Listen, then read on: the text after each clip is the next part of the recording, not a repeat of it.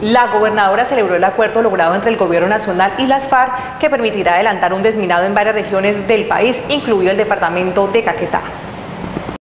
La gobernadora de Caquetá se pronunció frente al acuerdo que firmaría el gobierno nacional con las FARC. Según la mandataria, este sería una de las muchas iniciativas que se debería firmar para lograr la paz.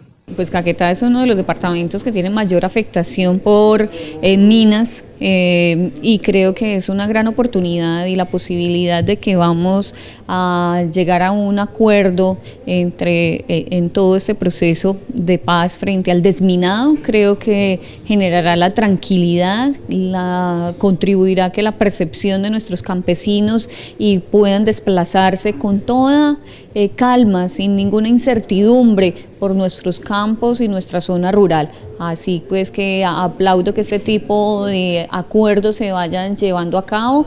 Marta Liliana Agüelo recibe con aleno esta noticia ya que el Caquetá es el tercer departamento donde hay instaladas más minas antipersonales, por lo que esto generaría tranquilidad entre la comunidad caqueteña. Dentro de la mesa de diálogo pues hay muchos componentes, hay muchos temas a tratar y a los cuales se tiene que llegar a acuerdos. Creo que es uno de los temas que se va avanzando y en el proceso ya eh, bélico como tal, en el proceso ya de, armas, el tema de minas creo que es un acuerdo, un avance importante.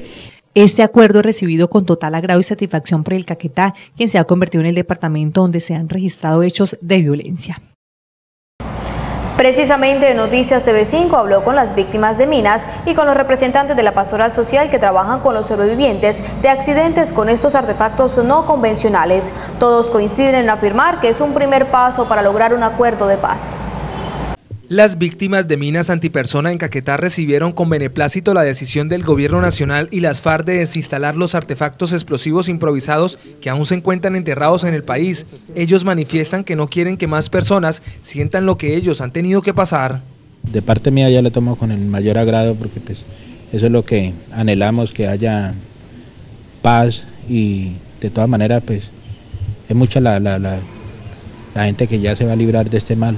A mí me parece perfecto, me parece bueno, porque es una, una, una, parte donde el gobierno y la guerrilla debían de haber hecho muy, muy, muy antes que lo que están haciendo ahorita. Un 100% desde que se cumpla, de parte y parte del gobierno y, y las FARC, es un darle, darle una gran movilidad y desembotellar todos aquellos miedos que en, más que todo en el campo y en las zonas rurales hay donde sitios que uno le da temor andar. La afectación de las minas antipersonales en Colombia ha afectado a mucha gente, como a niños, como a ancianos, como a mujeres, como gente que no tiene que ver nada en el conflicto.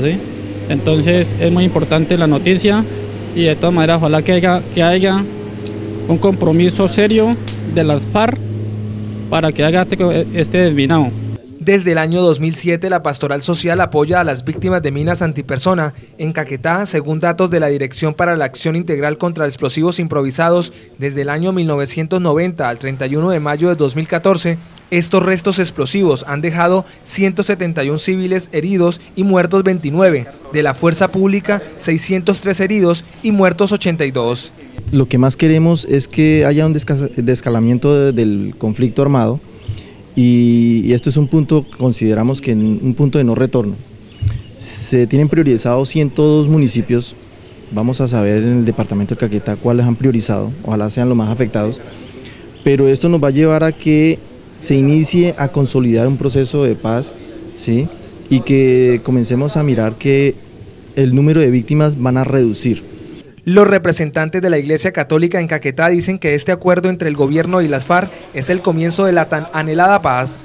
Son gestos que van forjando la paz que tanto estamos queriendo y que tanto deseamos en nuestro Caquetá, en Colombia y ojalá la paz del mundo entero.